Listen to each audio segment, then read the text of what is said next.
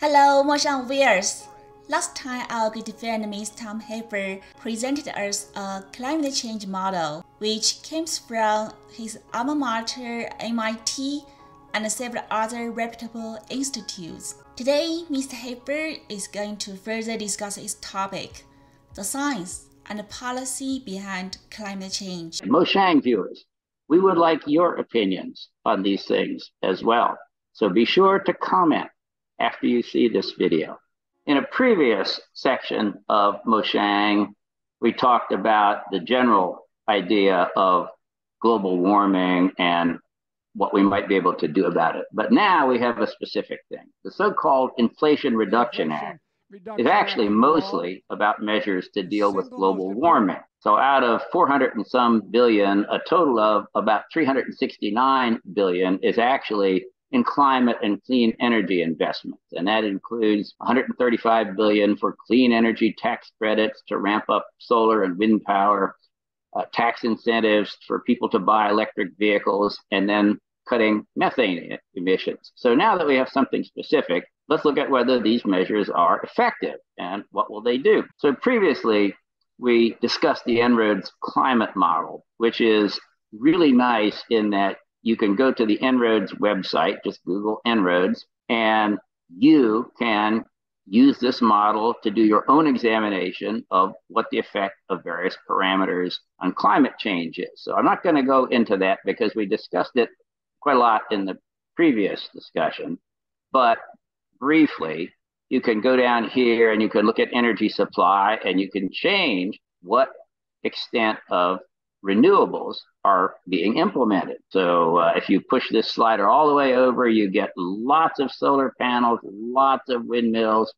In transport, if you go to electrification of vehicles, you get over here essentially 100% adoption of electric vehicles. And then here, there's a lot of information in this, but here's the important thing. It shows you over here what the temperature rise is going to be through the end of the century. In other words, about 80 years from now in the year 2100 and all along. So the question then is what are the effects of maximum global use of wind, solar, and electric vehicles? Because this model is the entire globe, not just the United States. So let's have a look. What happens if we maximize global use of renewables. Well, here it is. We've slid the slider bar all the way over. And you may recall that in the base case, we had 3.6 degrees of temperature rise by the year 2100. And if we maximize the use of renewable around the entire world, we get two tenths of one degree of reduction in temperature by the year 2100, 80 years from now. So, what about electric vehicles? Well, even less. We get one tenth of one degree of temperature decrease by the year 2100. So that's if the whole world does it. But the Inflation Reduction Act only pertains to the United States. So, who are the producers of carbon dioxide in the world? Well, here are the big five. At the very, very top is China. And you can see they've had a huge recent increase in carbon dioxide output because they have implemented a large number of coal fired power plants to sustain their economy. Here's the United States. We actually peaked out before 2020, and we've actually been on a downslope. So some of the carbon dioxide reduction measures are working. And we currently only account for about 13.5% of the world total, which is about a little more than one eighth. And then the European Union is also on a downslope. They're down here. India is undergoing a very rapid increase because their economy is developing. And here's Russia, which has a smaller economy, peaked out back in about, uh, oh, 1990, I guess that would be. And then it went down as the Soviet economy went down, and now it's generally rising a little bit. So, so these are the big five. And they're the ones who dominate carbon dioxide production in the world. So, what can we do by ourselves? If we only look at what's in the Inflation Reduction Act, which addresses the United States, we can at most increase renewables use about one eighth of the world total, 13.5%. Same thing with electric vehicle utilization. And then there is some methane reduction also in that bill. So if we look at what the net effect of that is on world temperature, if the US implements all of the measures in the Inflation Reduction Act, we get one tenth of one degree reduction in 80 years. And if we look at a nearer time frame, 30 years from now, 2052, it's even less than that. It's one twentieth of a degree. And yet, the 369 billion dollars comes out to over $1,000 for every man, woman, and child in the United States. So the question is, your children will be grown up in 2052. Is less than one twentieth of a degree change worth $4,000 for a family of four? And more to the point, is this the best way to spend the money? Some people say, well, we need to set a good example. Then the rest of the world will go along. But we assume that other nations have the same priorities that we do, but they don't. Let's take Russia.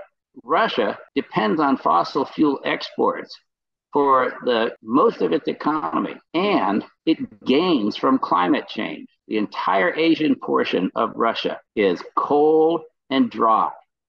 And global warming will bring warmer temperatures and more rain to that area. So it's in their advantage to have global warming. So there's no way that they are going to cooperate with uh, carbon dioxide reduction measures. India. India might like lower temperatures, but they have now the world's largest population and they have a lot of poverty and they're trying to develop their economy.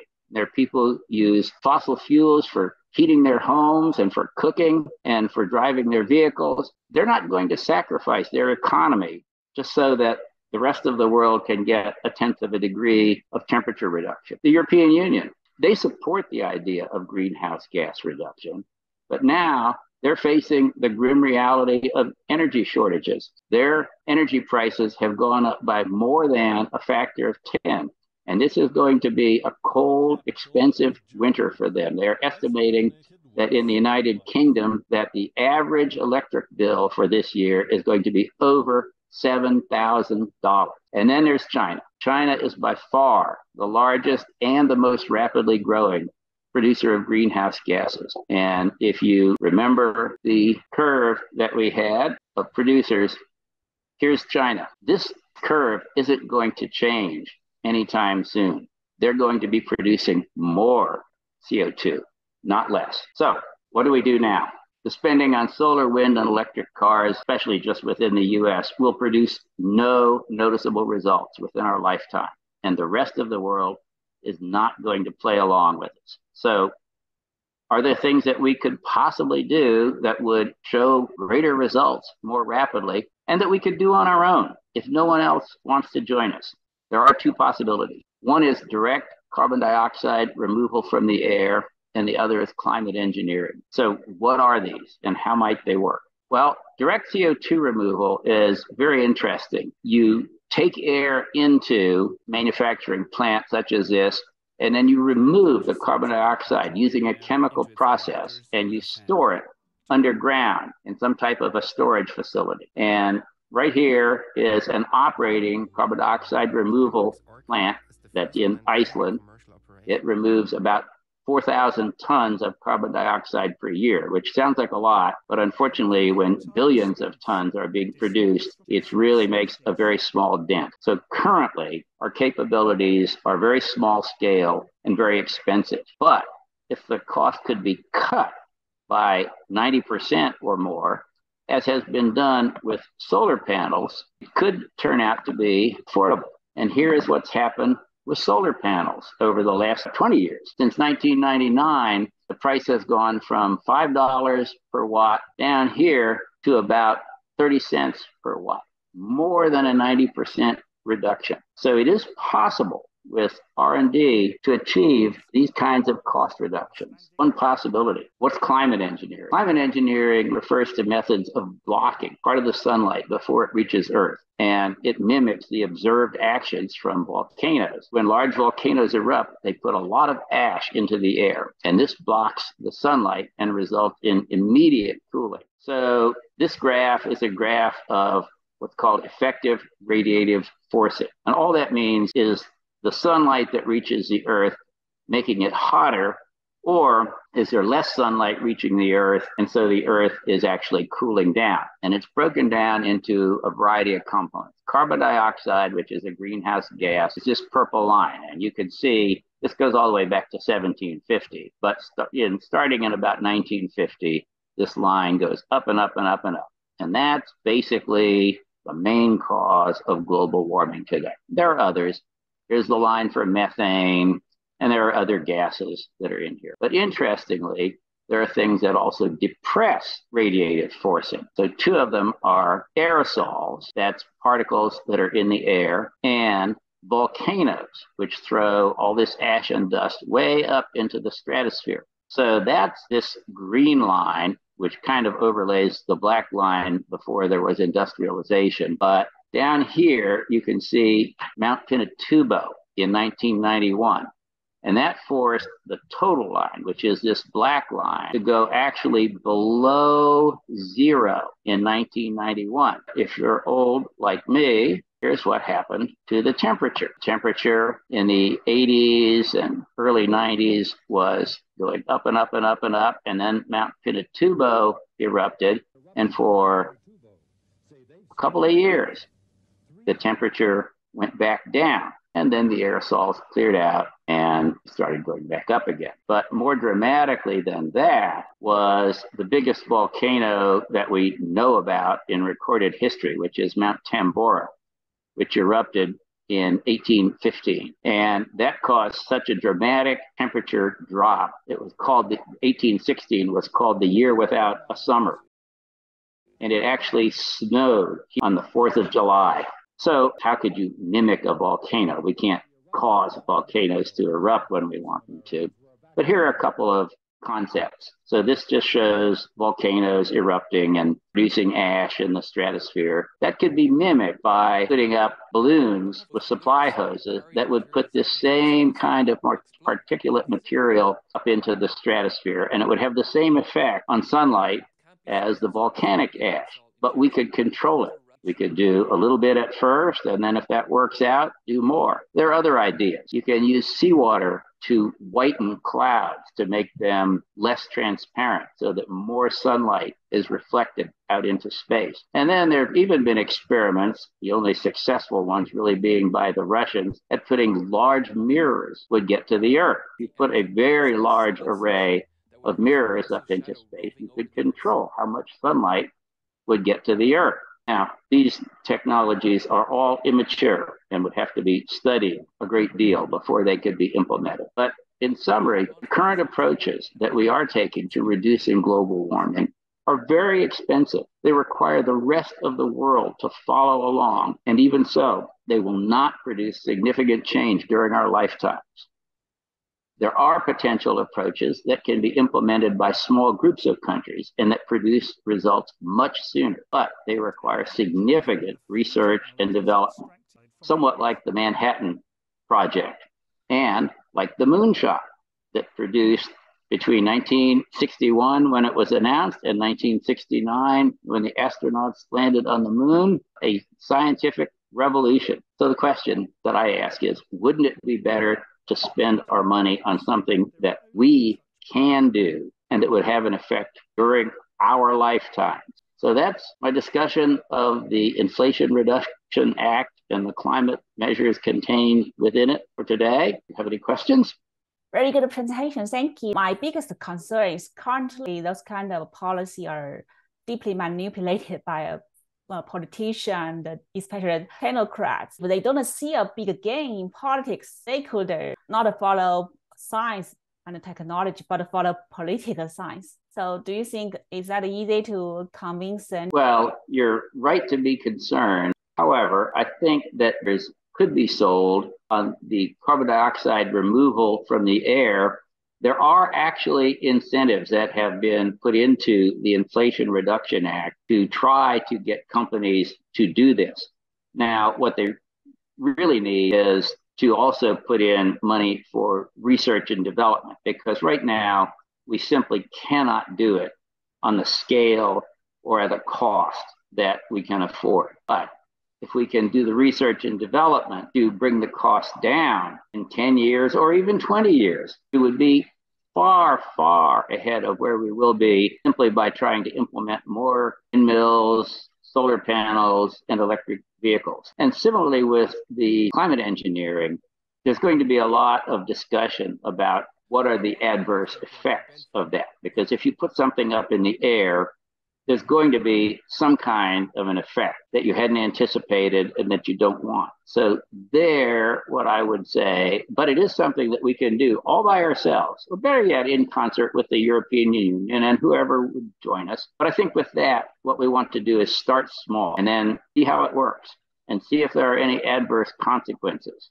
Study it first, of course. And then, if it works out, that's something that you can control almost perfectly. You can put up more or less, depending on what you need to do. So I think that those are things that can be brought to the attention of politicians. And if they are serious about addressing climate change and global warming, I think that they are getting there now because of all of the floods and wildfires and the things that people can see. Then I think that they can be incentivized to do it, just as they have done previously for windmills and solar panels and electric cars. There's nothing wrong with those things. It's just that they don't accomplish what we need to have accomplished. So taking that money and putting it into more effective manners, I think is an idea that gradually can be sold to politicians. Great. Agree, and I hope that will happen in the way of benefit our middle class.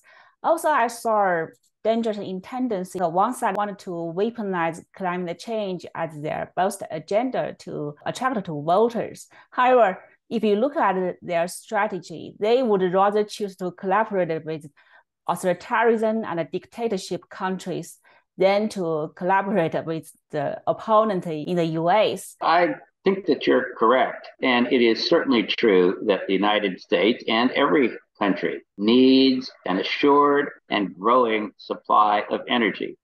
Now, there's nothing wrong with windmills and solar panels, but of course, they don't work when the wind doesn't blow and the sun doesn't shine. So you have to have something to back them up. And the question you have to answer is well, if you have to put in that backup power to begin with, what's the point? You know, you have to do you have to pay twice for your energy, once for the windmill and then for the backup plant or the battery or whatever it is. I have thought for the longest time that the answer to that would be to put small new generation nuclear power plants out where the coal and gas fired plants are now because they already have the hookups and the infrastructure to transmit the electricity to the places that it needs to go. And you can do a swap out of coal plant for the nuclear plant. Now we need to develop those also because the old technologies the ones that are currently being used have shown that they actually are safe, but they're not foolproof and scary. They can result in radiation releases. The new technologies step around that. They have ways of assuring that there cannot be meltdown and there cannot be radiation releases. And in addition, they produce much less fuel nuclear waste. To me, that is the path forward. It's a long term path. It's not something that we can implement tomorrow. But if we're looking out to the year 2100, that's where I would like to see us go. Appreciate it for your coming back. Okay. Bye. Bye bye, Moshang viewers. We want to hear from you.